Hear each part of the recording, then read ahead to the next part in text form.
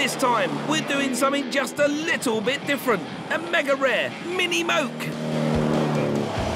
There's more creature comforts in a prison cell, but it is undeniably fun. I only gave 5.8 for this mad motor. Top work. I bought myself a mini moke. What have I done?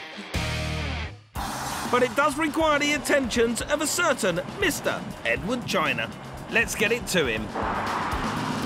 Well, I've started the journey now back to the workshop and left windy and wet Taunton in Somerset. And the sun's come out, which has given me a chance to get that roof off because it was flapping around and giving me a headache and start to think about what I've actually bought.